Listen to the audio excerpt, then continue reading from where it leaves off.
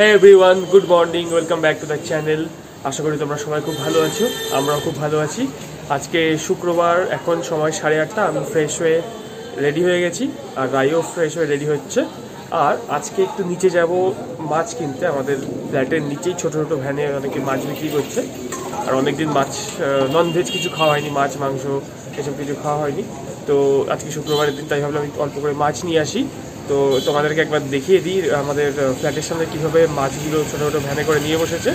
আর যাব জাস্ট নিচ থেকে মাছটা নিয়ে চলে আসব। তো এই দেখো, আমাদের ফ্ল্যাটের ঠিক নিচেই ছোট ছোট ভ্যানে মাছ বিক্রি করছে, আর কয়েকজন লোকও মাছ টাছ কিনছে।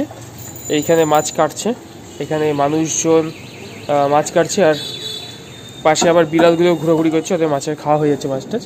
এইখানেও মাছ বিক্রি হচ্ছে একটা টোটোতে করে। তো জাস্ট নিচ থেকেই গিয়ে মাছটা নিয়ে চলে আসবে এবার।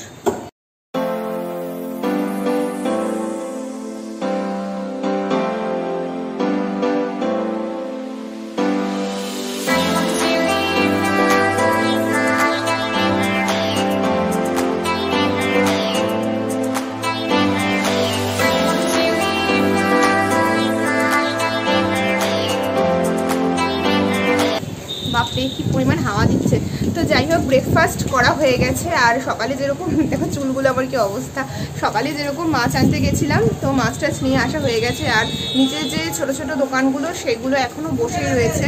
তোমরা আওয়াজও পাবে ব্যাকগ্রাউন্ডে অনেক। আর বৃষ্টি শুরু হয়ে গেছে এখন। এরকম বৃষ্টি পড়ছে। যাই হোক, এবার গিয়ে এখন রান্না করব। আর আজকে রান্না করব মাছটা তো রয়েছে, ওটা তো করবই। আর তার সাথে রান্না করব হচ্ছে সে যেন ছানার তরকারি।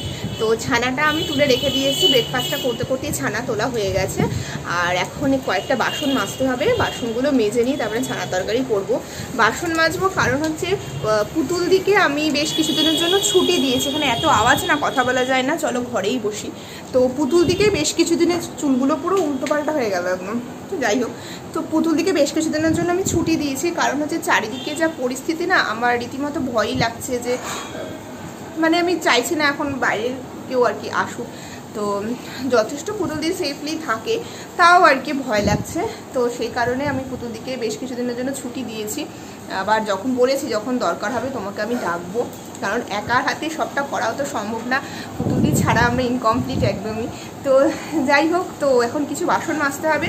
বাসন মেজে নিয়ে তারপরে রান্নাটা শুরু করব। আর মাছ করব, আর ছানা তরকারি করব, আর ভাত করব, ব্যাস, হয়ে যাবে তাহলে। তো আমার রান্না হয়ে গেছে, ছানার তরকারি, মাছ দুটোই হয়ে গেছে। খাওয়ার সময় একটু পাঁপড় ভাজা করে নেব। আর একটা দারুণ জিনিস করেছে, ওটা আমার ভীষণ ভালো লাগে। তোমাদের কার কার ভালো লাগে আমাকে একটু জানিও। খাওয়ার সময় সেটা দেখাবো আমি তোমাদের। আর এখন দেখো আমি এখানে বসে গেছি একটা ফেস প্যাক মাখবো বলে। সাধারণত আমি খুব একটা বেশি মানে অত সাজুগুজুর মধ্যে আমি একদমই নেই। তো অনেকদিন আগে আমি এই অ্যালপস গুডনেসের একটা মুলতানি মিট্টি পাউডার কিনেছিলাম। তো সেটাই এখন মুখে একটু অ্যাপ্লাই করব।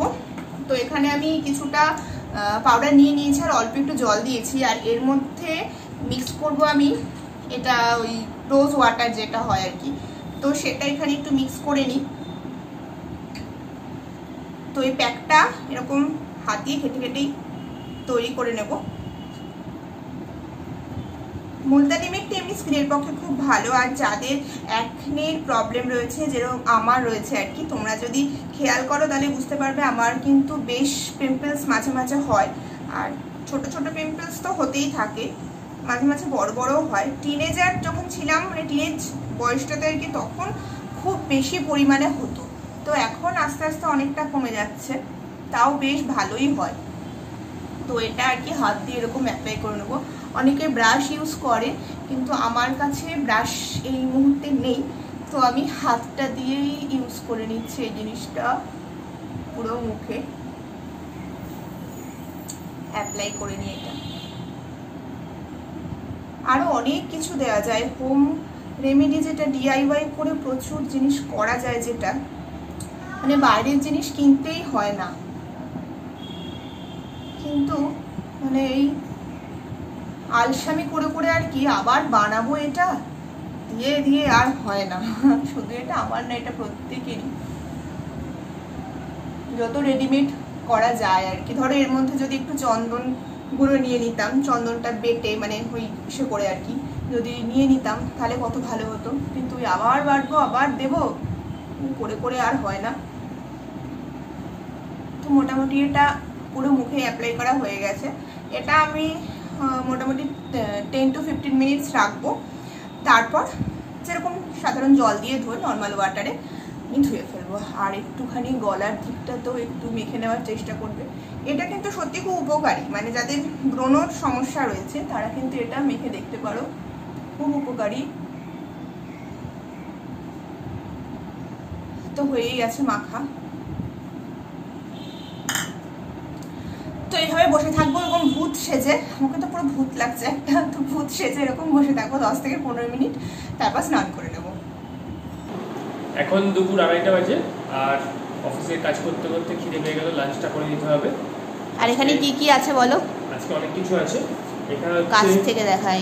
ছানার বড়ার তরকারি। হ্যাঁ। ছানার বড়ার তরকারি। এটা তো মাছ সকালে কিনেছিলাম। এটা হচ্ছে মাছের তেলের বড়া এটা এই যে কথা আমি বলছিলাম যে মাছের তেলের বড়া এটা আমি বানিয়েছি একটা স্পেশাল এটা আমার ভালো লাগে না ও খাবে। কেন তুমি একটু খাও একটা খাও। অনেকগুলো গ্রিন স্যালাড। এখানে স্যালাড আছে। আর এখানে অল্প একটু ডাল। আর এখানে ডাল এটা কালকেরই ছিল। কালকে ছিল। আর দুটো পাপড় ভাজা একটা ওখানে একটা আমি খাব। না না আমি খাব না। তুমি খাবে না? তোমার দুটোই তোমার। দুটো পাপড় ভাজা। খিদে পেয়েছি এবার খেয়ে নিই তাহলে। আবার কাজে বসতে হবে। গুড ইভিনিং ফ্রেন্ডস আমরা ছাদে চলে এসেছি। এখন সময় সাড়ে ছটা। একটু দেরি হয়ে গেছে মানে ছাদে আকাশটা কি সুন্দর লাগছে দেখতে? আকাশটা হ্যাঁ ওই দিকটা দেখাবো আমি। ওই দিকটা না? হ্যাঁ। এই দিকটা?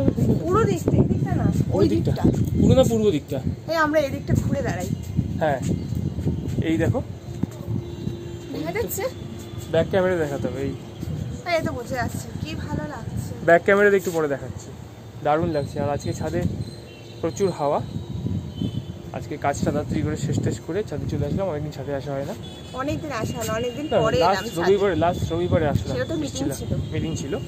তো আজকে আবার আসলাম। আর একটা জিনিস আমাদের এখানে না মানে ভীষণভাবে অনেক আছে করোনা এফেক্টেড মানে আমাদের বিল্ডিংয়ে না ওইদিকে আছে। করোনা এফেক্টেড এখানে কিছু বিল্ডিং রয়েছে। তো আমরা সবাই না খুব চিন্তায় খুব ভয়ে ভয়ে রয়েছি আর কি? স্বাভাবিক সবাই আর কি ভয়ে ভয়ে রয়েছে।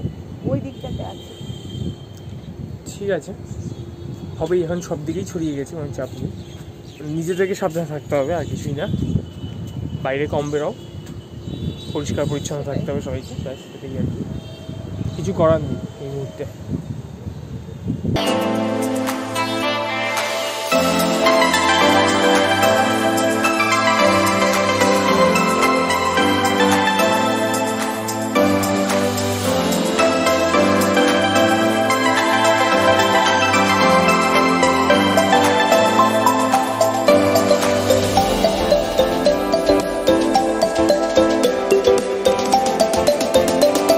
সব ছাদের মধ্যে সবাই হাঁটাহাঁটি করছে।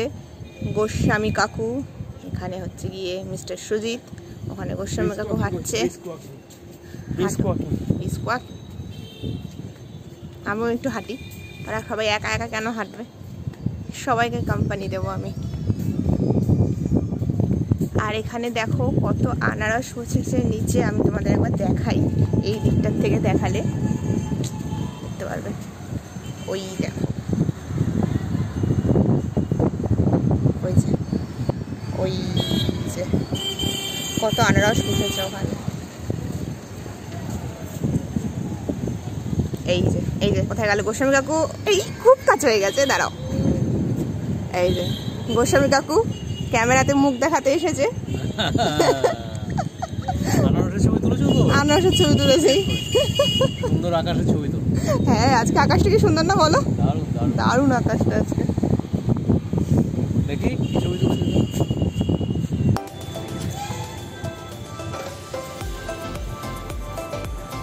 চলছে ব্রিস্ক ওয়াকিং আমিও হাঁটছি।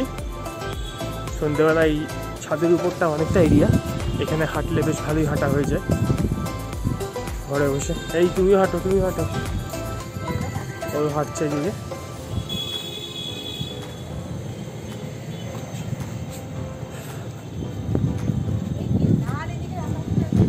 হ্যাঁ?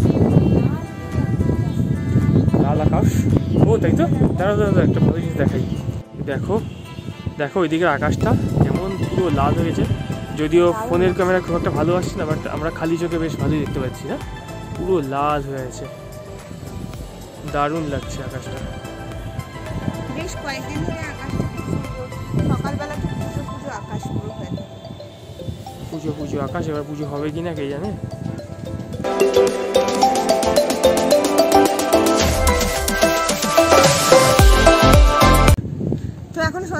গেছে একদম দেখতেই পাচ্ছ। আর আমরা এখন নিচে যাব। আর তোমাদেরকে দেখানোর জন্য আমরা এই যে মোবাইলের ফ্ল্যাশ জ্বালিয়ে ফ্ল্যাশ লাইট জ্বালিয়ে নিয়েছি একদম যাতে কোনো আলোর কোনো সমস্যা না হয়। তোমাদের যত সমস্যা না হয়।